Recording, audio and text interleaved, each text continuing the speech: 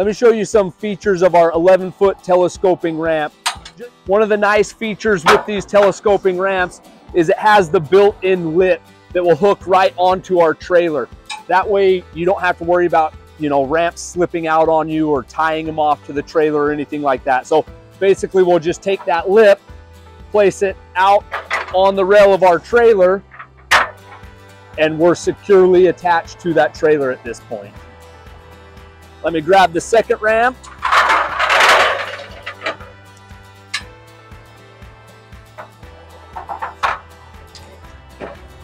We will attach it the same way. Just slide that lip over the rail. When these ramps are collapsed down, they're just about six feet long. The cool thing with them, to give us a much better angle getting up onto that trailer, they will telescope all the way out to 11 feet. The built-in stop there on the ramp will stop you from pulling the ramp too far out. At their extended length, they're just about 11 feet, which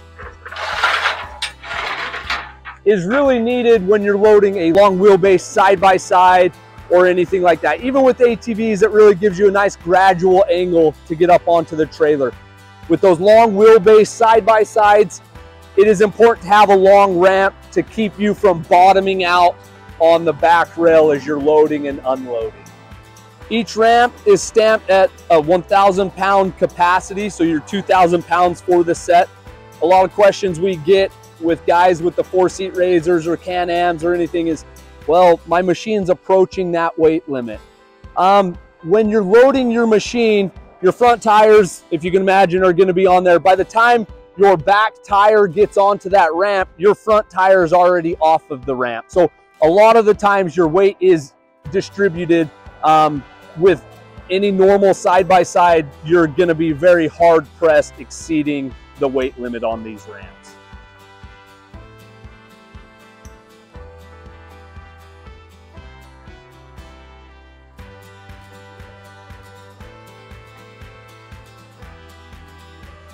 All right, after you've got your side-by-side -side loaded, we'll just collapse our ramps down, hang onto the handle, slide the lower portion into the upper portion. What I like to do is I like to take my ramps, flip them upside down,